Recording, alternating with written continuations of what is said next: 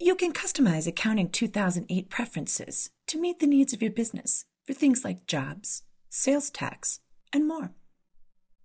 To begin, select the Company menu and choose Preferences from the dropdown. This will display the Preferences dialog box.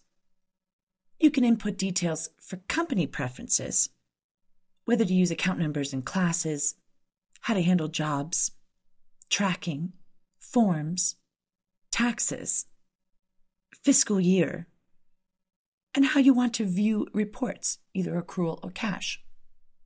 If you pay sales tax, you can then add a new tax group or edit or remove an existing tax group. You can make changes to the fiscal year by selecting this button.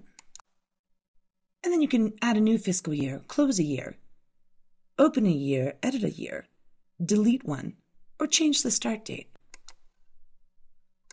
You can include customer information, like the default annual interest rate, minimum finance charge, or grace period. You can include vendor information, including 1099 categories. Input employee details, including the first day of the week for timesheets, and whether your accountant will run payroll or you would like to do payroll.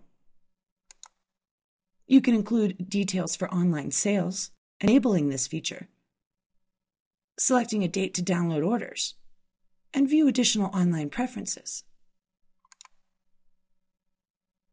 And you can adjust system accounts, opening balances, accounts receivable, accounts payable, sales tax payable, cash discounts, payroll, undeposited funds, bank charges, retained earnings, receipts, and write offs by selecting the drop down for any of these categories. And you can update general information to play sounds, change file as settings, perform service mappings, as well as support logging.